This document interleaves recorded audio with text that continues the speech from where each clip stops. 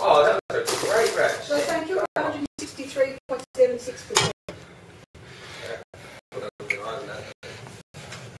But, had a couple of South Sydney last week was fairly close. um, say, buddy? Yeah, no, Sydney Don't almost.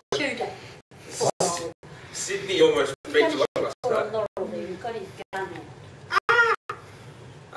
yeah, no, it came down to the wire. It was pretty close. Was it? Oh, yeah, it was good game. Gary Ablett was insane, though, 44 possessions. But they said something about that on the radio this morning, yeah, 44 Yeah, they kept, the commentators kept saying during the match, oh, it looks like the season veterans are picking up Geelong. They need someone to do it. so they had buddy him or and Bartel or whatever, everyone was just, you know, According, Johnny Doe time. according to the Sunday Times this morning, Judd reckons he would be the footballer he's now if it wasn't for Wisher. oh, really? Yeah. Wisher I made, mean, I'm on the reading. Wisher Is made, it on the back page, is it? Or? But, uh, no, it's in the, Wisher's uh, made inside of the, the, the football page is inside. Oh, okay. yeah, yeah. In there. Well, um, He reckons that we he reckons that, uh,